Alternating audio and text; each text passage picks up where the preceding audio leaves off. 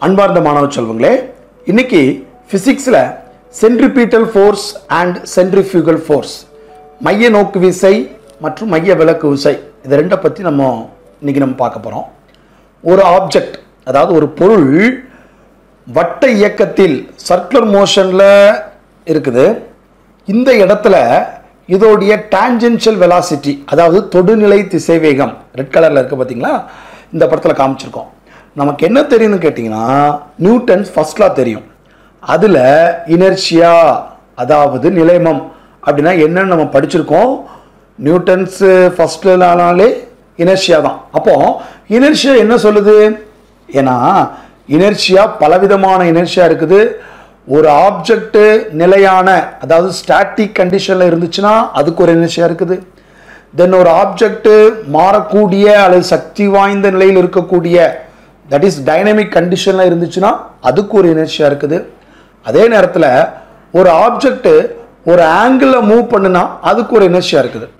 இதுக்கு பேர் தான் டைரக்ஷனல் இனர்ஷியா இப்போது இந்த இடத்துல பார்த்தீங்கன்னா அதோட நேச்சுரல் டெண்டன்சி இப்படியே போகிறது தான் அப்போ என்ன பார்த்து என்ன அர்த்தம்னு பார்த்தீங்கன்னா every point on the locus அதுக்கு என்ன மீனிங் லோக்கஸ்னால் என்ன மீனிங் பார்த்தீங்கன்னா இன் விச் பார்ட்டிக்கிள் ட்ராவல்ஸ் எந்த பாதையில் அந்த பொருள் பயணப்படுகிறதோ அப்போது இந்த இடத்துல லோக்கஸ் பார்த்தீங்கன்னா அதோட டுவர்ட்ஸ் நார்மல் எங்கே இருக்குன்னா சென்டரில் தான் இருக்குது.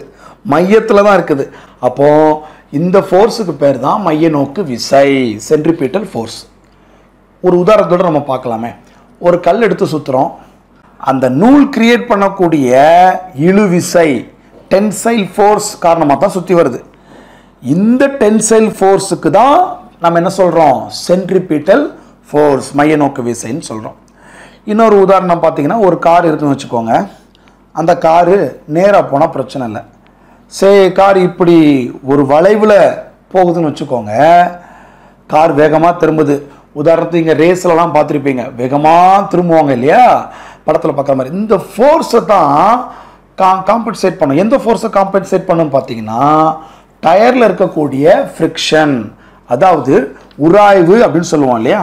அப்போ டயரில் இருக்கக்கூடிய உராய்வு தான் மைய நோக்கு விசையாக செயல்படுகிறது. இன்னொரு உதாரணம் பார்த்தீங்கன்னா ஒரு பிளானட் ஒரு கோள் சூரியனை சுற்றி வருகிறதுன்னு வச்சுக்கோங்க. இப்போ சொல்லுங்கள் இதில் எது மைய நோக்கு விசை? கரெக்டாக சொல்லிட்டீங்க கிராவிட்டி அப்போ சன்னுக்கும் அந்த பிளானட்டுக்கும் இடையில இருக்கிறது தான் என்னது? செயல்படுறது என்னது? கிராவிட்டி இன்னும் நம்ம பார்த்தீங்கன்னா ஒரு எலக்ட்ரான் நியூக்ளியஸை சுற்றி வருதுன்னு வச்சுக்கோங்க. இப்போ சொல்லுங்க எது மைய நோக்கு விசையாக செயல்படுகிறது?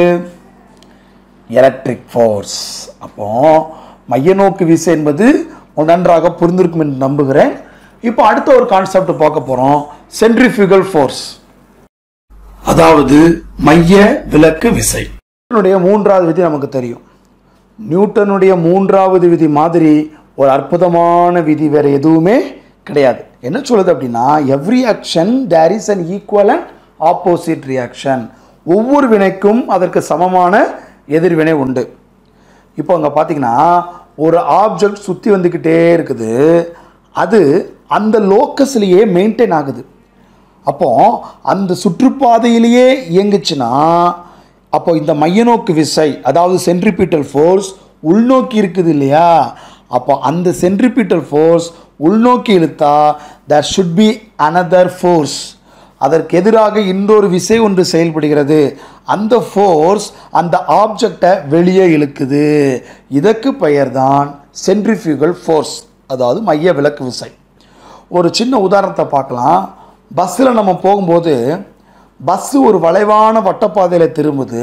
அப்போ என்ன நடக்கும்? பஸ்ஸை பொறுத்தவரை டயர் சென்ட்ரிபீட்டல் ஃபோர்ஸை கொடுத்துரும். ஸோ பஸ்ஸு கவரில். ஆனால் பஸ்ஸில் இருக்கிற நம்ம மேலே ஒரு அவுட்வேர்ட் ஃபோர்ஸ் அதாவது வெளிநோக்கிய விசை ஒன்று செயல்படுகிறது. அதற்கு பெயர் தான் மைய விளக்கு விசை. That is called centrifugal force என்ன ஒரு சின்ன உதாரணம் பார்த்தீங்கன்னா நம்ம யூஸ்வலாக தயிர்லேருந்து வெண்ணெய் எடுப்போம் இல்லையா? மத்தை வச்சு எடுப்போம். அப்படி எடுக்கும்போது கடாயம் பொழுது கனமான பார்ட்டிகிள்ஸ் எல்லாம் வெளியே போயிடும் மெல்லிதான பார்ட்டிகிள்ஸ் ஃபுல்லாக வெண்ணெய் எங்கே வந்துடும் நடுவில் வந்துடும் இதுதான் மாணவர்களே சென்ட்ரிஃபியூகல் ஃபோர்ஸ் புரிந்திருக்கும் என்று நம்புகிறேன். தேங்க்யூ